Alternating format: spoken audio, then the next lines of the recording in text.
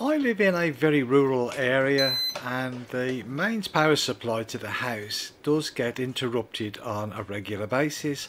This being the case, I've always used uninterruptible power supplies. Now my old power supply decided not to work anymore due to battery problems.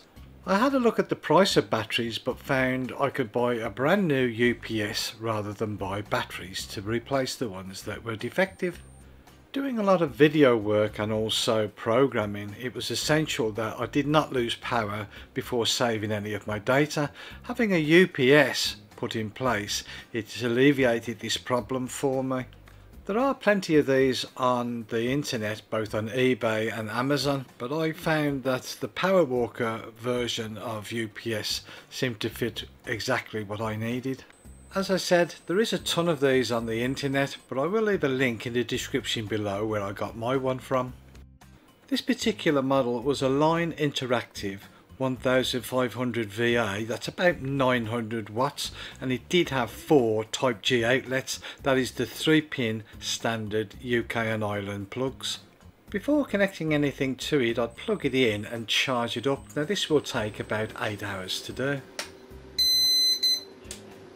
Before plugging it in I did check and there did seem to be quite a good charge in it but even so when you plug in your plug you'll see now that the voltage will go to the voltage that's going into the UPS and the output voltage on the right hand side.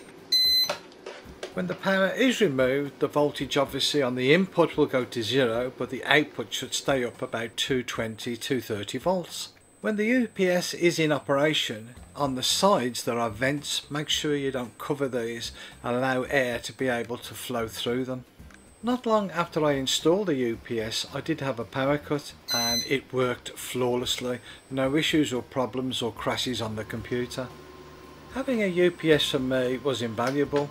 A simple push of the button will give you the in output voltage and also the state of charge of the battery and when the power is removed the battery voltage should stay somewhere in excess of 220 230 volts.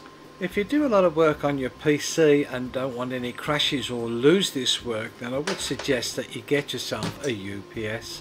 This will enable you to save your data and power down your PC. This UPS will deliver me 900 watts. Now I do have connected to it my PC, my monitor and my router for the internet. These will stay powered up for approximately 20 minutes if required before shutting down.